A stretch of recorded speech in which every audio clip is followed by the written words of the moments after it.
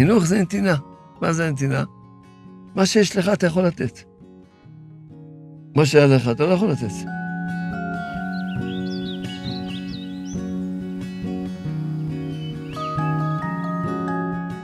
דוגמה, בגשמיות, אדם יש לו משהו, 100 שקל, הוא יכול לתת 100 שקל, כי יש לו. אבל הוא לא יכול לתת עכשיו משהו שאין לו. לכן אדם, יש לו מידת הסבלנות, יש לו מידת השמחה, קלות. כל דבר טוב שיש לך, אתה יכול לתת אותו. חינוך זה נתינה. כן, כמו שבגשמיות, אתה מבין את זה? כל היש למידות, התגברות על תאוות, הכל זה מה שעבדת עצמך והשגת, בקלות אתה יכול לתת לילד שלך. יהיה לך, יהיה לך מה לתת.